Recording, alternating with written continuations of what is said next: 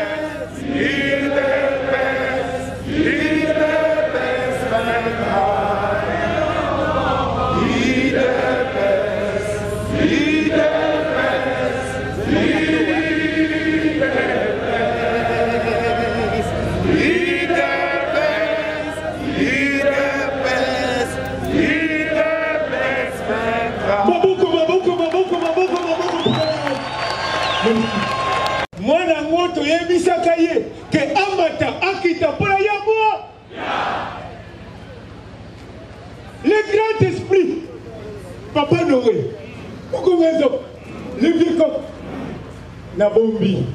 Maboko mpona binimo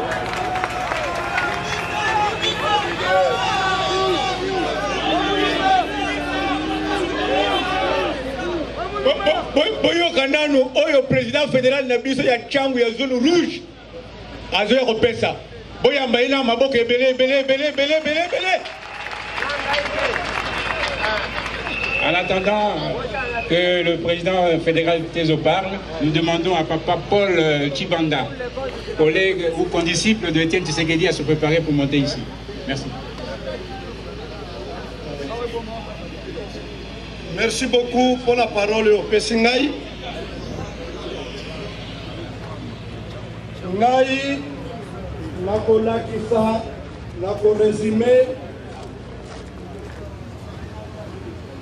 Amour. Mariage. Oyo président etienne asela akanga na banekongo. Nakanisi nkombo ya kongo mingi bayebaka yango ntina te. Kongo elakisi amour yango nkombo bapesa kongo na biso mboka na biso. Alors papa etienne alakisaki bolingo. Ya ye na bana congo mpe particulièrement na bato ya ne congo na lolenge nini? Boyebi ete biso na congo central depuis balan 1800 et quelque tozalaka na baprophète na baprofetesse makambo bango basakolaka. Ezala papa simon kimbangu na 1921 ezala mama kipavita na 1786 je pense.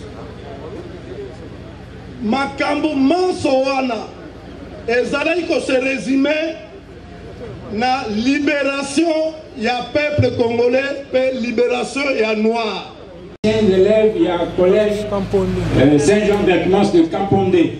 Et si quand Étienne Tshisekedi a son école secondaire peux essayer mal, on va prendre quelques minutes à Imola, au moins.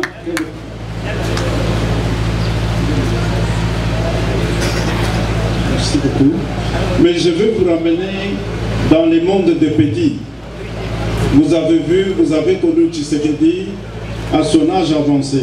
Je veux vous dire que ce qu'il a fait dans son, âge, avancé vient de sa plus jeune jeunesse.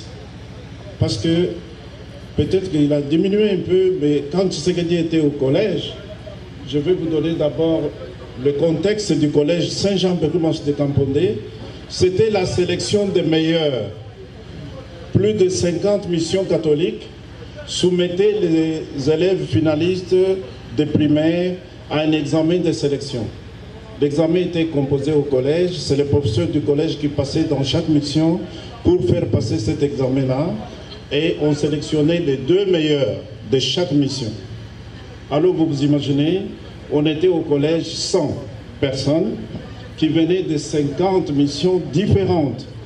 Et dans ce groupe-là, il n'y avait que le premier et le deuxième. Ça, le contexte, il est planté comme ça pour le collège de Campondé. Alors, Maître Mukendi, il a dit ici que Étienne Tshisekedi était un visionnaire. C'est tout ce que nous, les anciens du collège, nous avons le plus retenu de lui. C'est vraiment un visionnaire parce que même au collège, nous entrions au collège à 11 ans.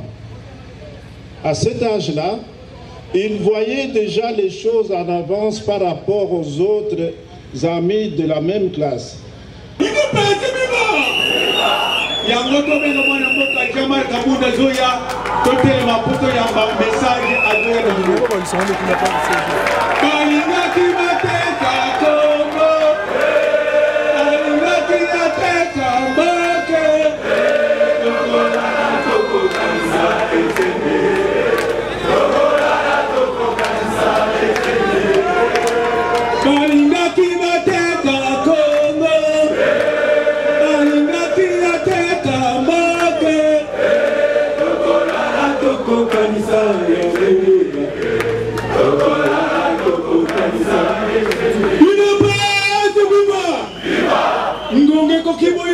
Oyo yeme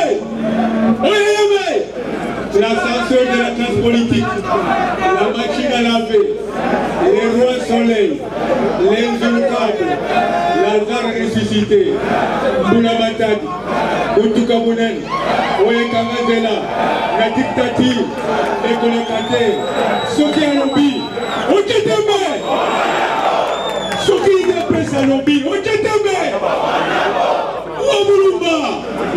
ya nzoka Kande, Salomon d'Afrique, Mandela du Congo, le père de la démocratie, le porte-parole de la nation congolaise, notre père, et oui, et l'homme de fête, Malobasol, le vieux me dire, Papa Noé,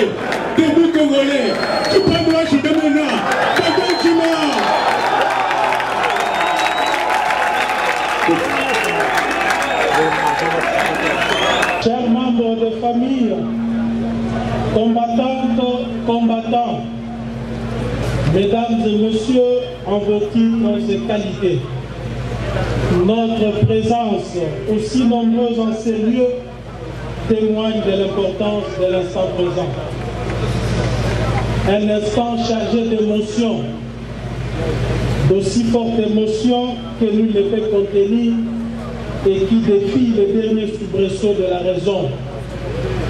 Elles sont l'expression de notre profonde gratitude à l'égard de celui qui, des années durant, nous a enseigné par sa vie l'essence élevée de la dignité, mais aussi le respect des principes démocratiques et des droits. Il est à la fois notre fierté et un exemple. Un exemple pour des générations à venir, un exemple de courage qui tutoie les épreuves, un exemple de calme vainqueur. Nous sommes réunis ici pour commémorer la disparition d'un grand leader. Nous sommes réunis ici afin de permettre aux Congolaises et Congolais de communier avec la mémoire de cet homme d'exception. Un homme dont le destin s'est, comme rarement dans l'histoire d'une nation, conjugué par une aussi attachante et émouvante symbiose avec un peuple. Nous sommes un homme, comme il convient de le rappeler, que les épreuves d'une vie choisie et assumée ont au fait de rendre coriace face à l'adversité et à la maladie. Combien de fois n'a-t-on pas spéculé sur sa disparition précoce? Combien de fois n'était-il pas déjà enterré? Au propre comme au figuré alors que sa santé préoccupait au plus haut point.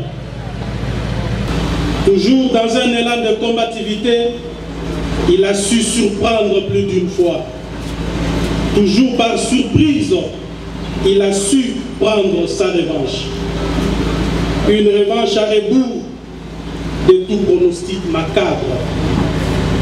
Une revanche qui restera de ses faits gravés dans les annales de l'histoire politique de ce pays. Enfin, une revanche dont le plan se consomme froid et les effets se conjuguent au futur. Nous en voyons déjà le prémisse, ce n'est qu'une question de temps. Hélas, dans cette vie, il arrive des fois que la Providence dispose autrement en dépit de notre bon vouloir et de tout l'amour que l'on peut porter pour les siens. Ainsi, voici il y a un an, jour pour jour, que nous avons tous été surpris, sinon bouleversés par l'annonce du décès du président, le docteur Étienne Tshisekedi Ouamoudouba. Une disparition brusque qui nous a tous, de toute évidence, pris de coups, nous laissant ainsi dans l'absolu avec un vide abyssal que seul un peuple déterminé et fondamentalement engagé pourrait combler dans les jours à venir. Étienne Tshisekedi Ouamoulumba s'est en allé. Lui qui fait partie de la trempe de personnalités qu'on ne remplace jamais. Certes, on peut les succéder, mais pas n'importe comment, ni n'importe où, et pas n'importe qui. Certainement pas par la trahison. Certainement pas par la trahison, ni par la corruption. Il faut de la manière, car sa vie durant, il n'était ni traître, ni corruptible. En clair, il ne mangeait pas du pain de la compromission.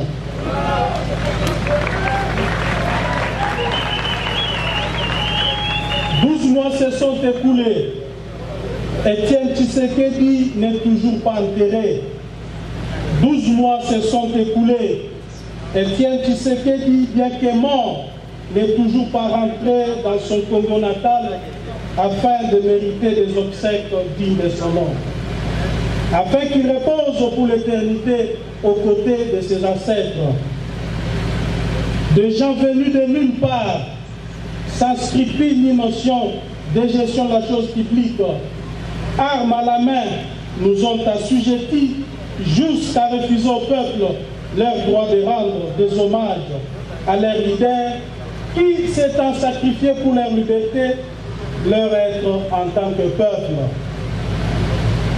Refuser l'inhumation d'Etienne Tshisekedi au Congo pour des raisons politiques est un défi lancé au peuple congolais, car il incarnait les aspirations et les attentes de ces derniers. C'est priver au peuple de célébrer sa mémoire. Il n'y a, que des sauvages, des sadiques et des médiocres qui peuvent se comporter de la sorte sans tenir compte de l'opprobre que pareil comportement jeterait sur la nation tout entière. Le parcours de cet homme de caractère brillant, qui a vu le jour un certain 14 décembre 1932 à Louabou, laisse à la fois dubitatif et admiratif. Rare, un destin ne s'est autant conjugué avec l'histoire d'une nation. À ces secrets de parcours, d'une rare simplicité qui nous fascine et inspire à la fois, nous collons un adjectif enfoui dans la conscience collective des Congolais. Cet adjectif, c'est le sublime. Telle est l'approche de la vie politique qu'il a eu à mener. Nous l'avons tous côtoyé, chacun à des degrés différents et dans des circonstances aussi différentes. Pour notre part, nous pouvons en effet témoigner du privilège que nous avons eu de travailler à ses côtés. Quelle que soit la durée ou la longueur des contacts avec lui, son calme tranche et impressionne. De même, sa clairvoyance illumine l'essence commun du patriotisme et inévitablement fait de nous aujourd'hui davantage qu'hier un bataillon d'individus convaincus quant à l'idéal de son combat. Par ces temps difficiles que traverse notre pays, je me fais l'auguste devoir de proclamer haut et fort, ici présent, sans l'ombre d'aucun doute, que nous allons honorer sa mémoire comme il se doit. Nous allons aussi lui donner la place qui lui convient de droit comme de fait. Nous allons enfin poursuivre son œuvre jusqu'à la victoire finale.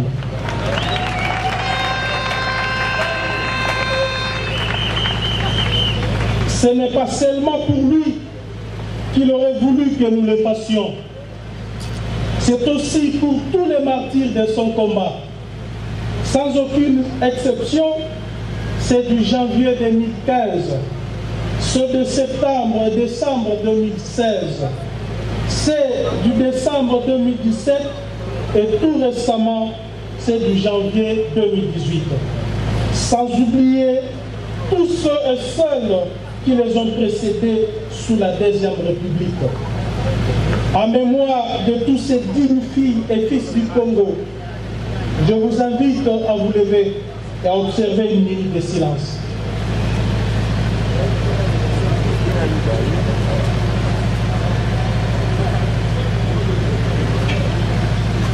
Merci.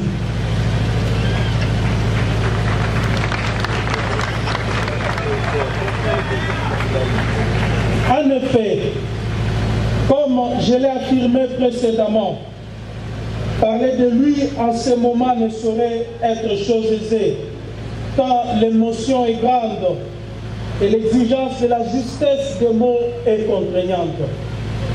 Tout en sollicitant votre indulgence, je prends donc la mesure de cette tâche qui m'incombe et que je vais ici accomplir en toute modestie et humilité.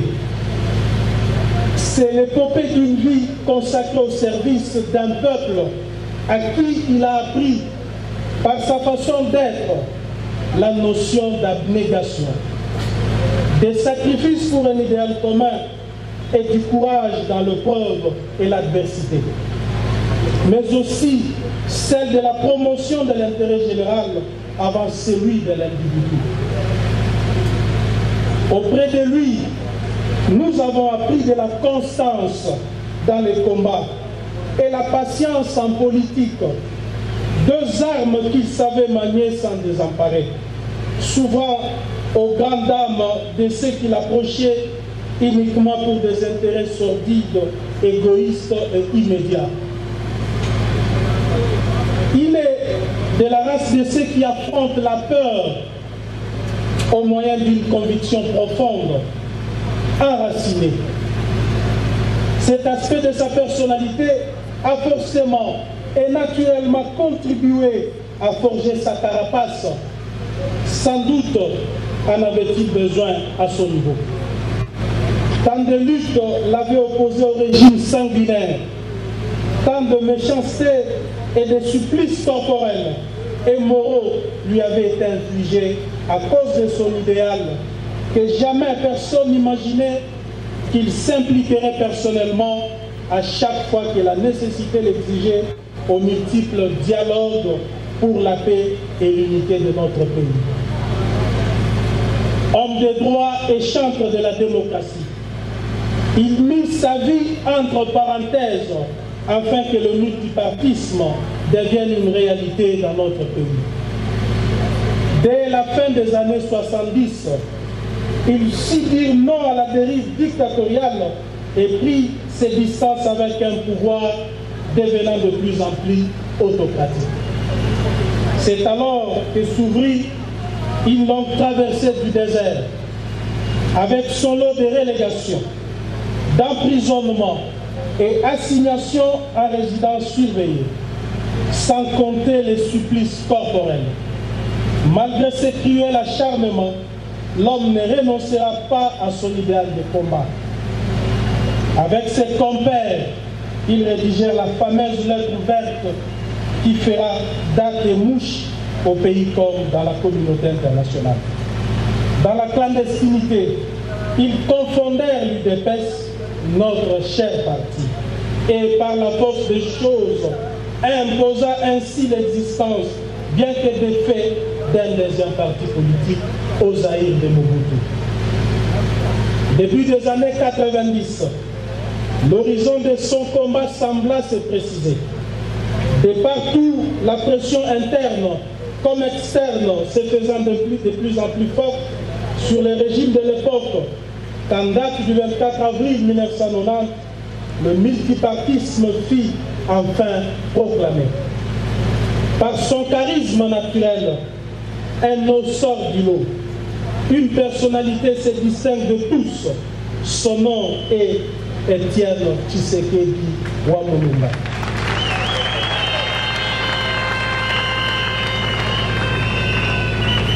Homme de paix et de concorde nationale, lorsqu'il partition des faits de notre pays jadis, il démontra par sa stratégie prônée et assumée de la non-violence les limites de la lutte armée et violente. Et l'accord de Sun City fut conclu en Afrique du Sud entre 2002 et 2003 à la grande satisfaction de tous les belligérants sans qu'il y trouvât son intérêt personnel. En fait, beaucoup de Congolais l'ignorent peut-être. Contrairement à la version officielle qui passe sous silence son importante contribution, Yachichi, comme les compatriotes l'appellent affectueusement, était et restera jamais dans l'ombre la véritable cheville ouvrière de cet accord, qui non seulement imposa une certaine accalmie à travers le pays, mais aussi conduisit aux élections de 2006. C'était son combat de l'époque, la démonstration manifeste de son patriotisme, celui de faire en sorte que notre pays recouvre son intégralité territoriale et que les Congolais choisissent désormais leurs dirigeants par voie démocratique plutôt que de les voir s'imposer par la force des armes. Toujours en 2006, en toute lucidité, sentant que les dés étaient jetés en faveur d'un camp et que les Congolais risquaient de ne pas être maîtres de leur suffrage, il fit le choix, malgré d'innombrables et innommables pressions, de ne pas se porter caution morale d'une vaste supercherie. Nous en avons eu la preuve par la suite. En 2011, un autre tournant décisif de notre vie politique. Après plus de deux ans d'absence au pays pour des raisons de santé, son retour triomphal, comme lui seul en gardait le secret, révèle au monde entier la dimension nationale de son leadership et fait tomber les mythes selon lesquels le Katanga serait le fief électoral du pouvoir. En dépit de maigres ressources financières et logistiques à sa disposition et une santé somme toute fragile, il a su mettre à nu toute la machination du régime. Dévoiler à cet effet aux yeux du monde l'ampleur de la fraude électorale, révéler l'incompétence des organisateurs et in fine contraindre toute la communauté internationale à reconnaître à demi-mot et de manière indirecte, certes, mais reconnaître quand même sa victoire éclatante contre le pouvoir. Oui, aujourd'hui plus que jamais, nous sommes fiers de l'avoir eu comme président du parti. Oui, aujourd'hui plus que par le passé, les Congolais dans l'unité et à l'unisson sont fiers de lui et reconnaissent à ce grand homme un modèle de courage extraordinaire et un destin aussi grand aussi exceptionnel au service du peuple d'abord. En 2016, combattant jusqu'au bout pour un état de droit, il s'est personnellement impliqué pour le respect de la limite des mandats constitutionnels, reléguant ainsi sa santé au second rang. Et la conclusion de l'accord du 31 décembre 2016, saluée aussi bien par le peuple congolais dans son ensemble que par la communauté internationale, évitant ainsi au pays de sombrer dans le chaos, témoigne de la grandeur et de la hauteur de vue de ces dignes fils du Congo dont nous commémorons la mémoire aujourd'hui. Parce que le feu, notre président, s'est investi personnellement dans la signature de l'accord dit de la Saint-Sylvestre, nous sommes en droit de nous poser la question, qu'est-il devenu une année après? La réponse est simple. L'accord de la Saint-Sylvestre a été dévoyé par Joseph Kabila et sa bande afin de se maintenir au pouvoir. Et qui se montre cette bande d'incompétents au pouvoir depuis 17 ans La non-application de l'accord a davantage renforcé les doutes sur la possibilité d'une alternance démocratique dans notre pays. Le récentes tueries de manifestants pacifiques, munis de Bibles et de chapelets, nous ont effrayés. Ensuite, elles nous ont mis en colère et cela suscité à nous une grande détermination. Combattantes et combattants, l'heure arrive dans la vie de toute nation où il ne reste plus que deux choix, se soumettre ou se battre. Ce moment est venu à présent pour notre pays.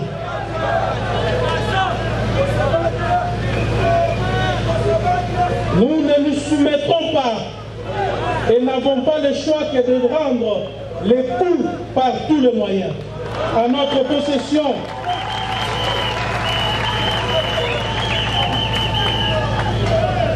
Pour défendre notre peuple, notre avenir et notre liberté.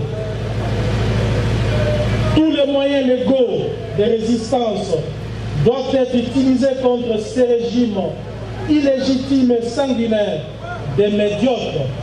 Et pour cela, n'ayons pas peur de la mort. Tous ces sacrifices consentis par Étienne Tshisekedi, tous ces dévouements exaltés nous laissent aujourd'hui sans voix.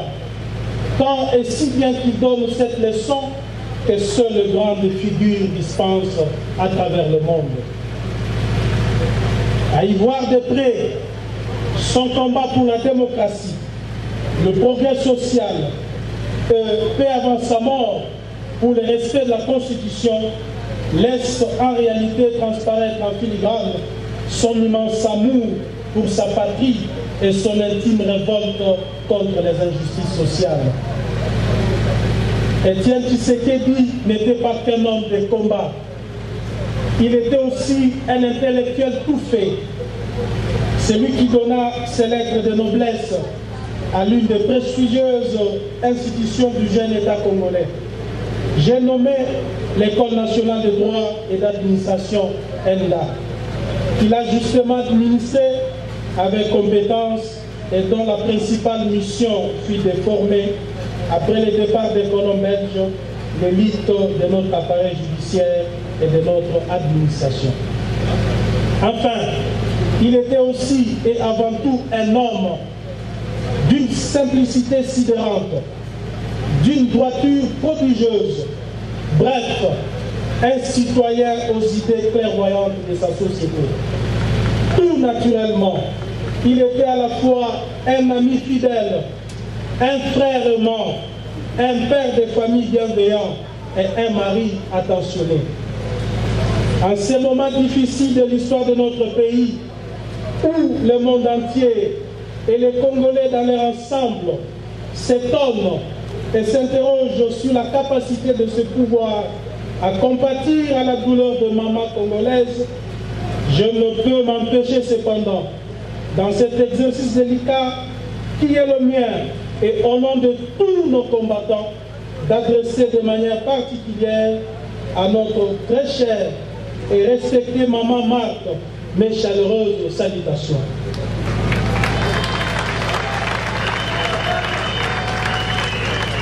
De Bruxelles, où elle se trouve actuellement, contre son gré et où ses pouvoirs malfaisants l'a intentionnellement contrainte à, demeurer, sans l'espoir d'organiser les obsèques dignes de son nom,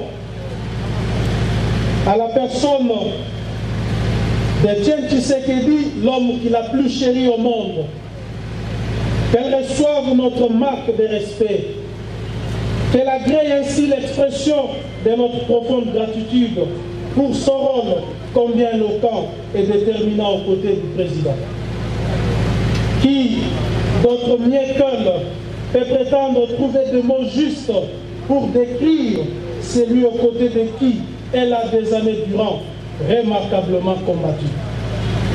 Aucun discours, autre que le sien, ne peut contenir ni décrire dans le règle le parcours exceptionnel de cet homme, à la fois simple et difficile à cerner.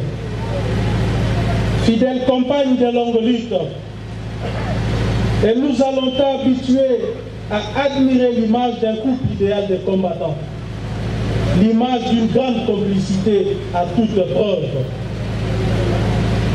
Ensemble, ils ont en toute conscience fait le choix de vivre une vie de combat et de privation en tout genre, non pas pour leurs propres enfants. Ces derniers, comme tous les enfants de leur âge, à l'époque, n'en demandaient pas mieux que de vivre une vie normale en présence de leurs parents. Ils ont fait pour tous les enfants du Congo, du Zaïre à l'époque. Aujourd'hui, non seulement nous partageons sa souffrance, mais aussi nous sommes fiers de cette famille. Merci, Maman Marthe.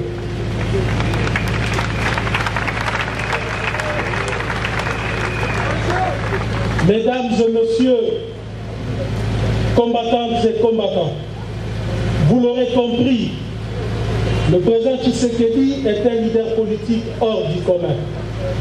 À chaque tournant décisif de l'histoire de notre pays, les Congolais ont su compter sur lui.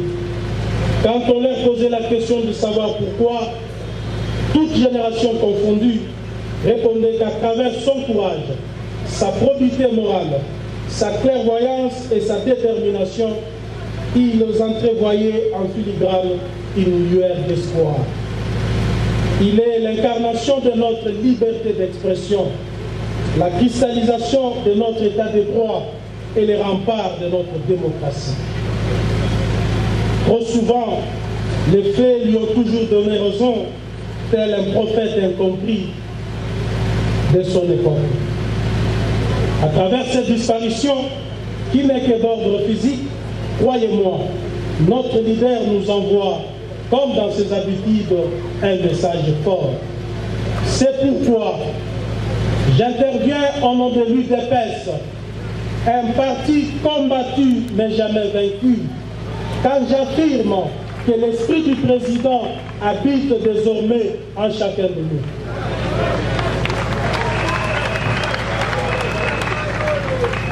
J'interviens au nom de l'UDPS, un grand parti national quand j'insiste et signe que le président Tshisekedi fait corps avec nous.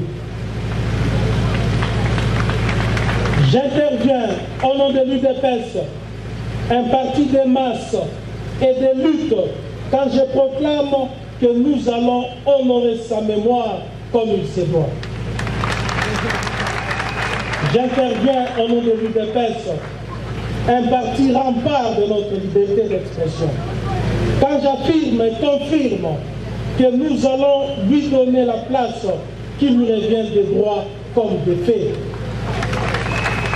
J'interviens enfin au nom de l'UDPS, notre alma mater politique, quand je persiste et signe que la victoire finale est proche.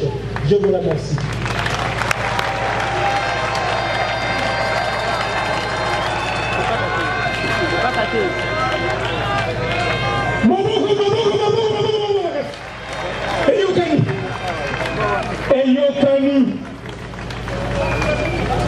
eyokani que message ekoti emati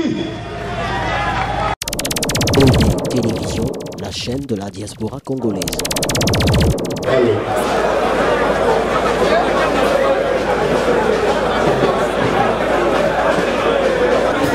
Tshisekedi,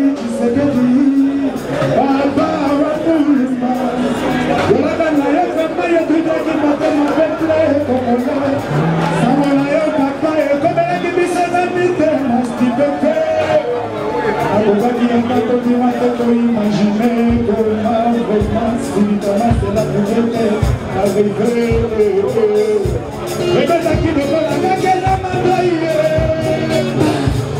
avait personne qui pouvait consoler mon père. Je fais ça qui ne pouvait pas nous Et la paix m'adore sur la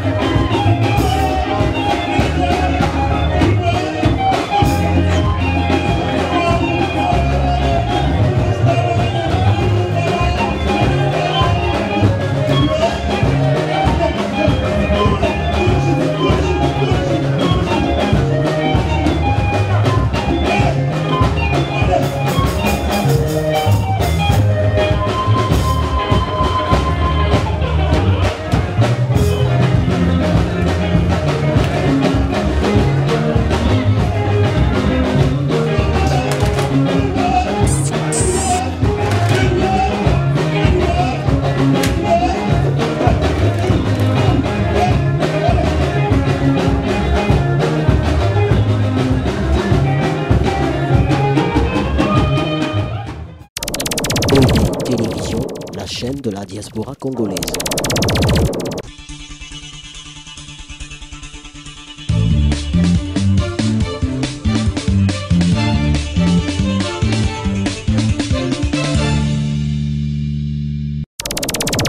Télévision, la chaîne de la diaspora congolaise.